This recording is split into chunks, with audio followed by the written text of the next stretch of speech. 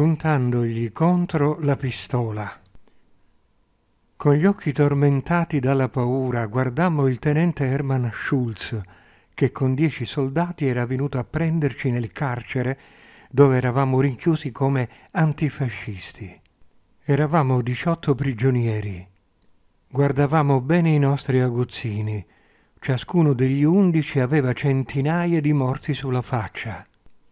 Quando il direttore del carcere si rifiutò di consegnarci senza l'ordine scritto, il tenente chiuse le trattative puntandogli contro la pistola. Fummo caricati in un camion con il sapore di terra in bocca, terra di sepoltura. Poi il camion si fermò in aperta campagna e anche l'ultima speranza spirò.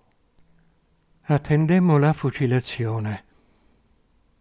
Invece Schulz ci lasciò liberi non credevamo che un plotone tedesco avesse qualcosa di umano. A malapena dicemmo vi ringraziamo per averci stupito e fuggimmo.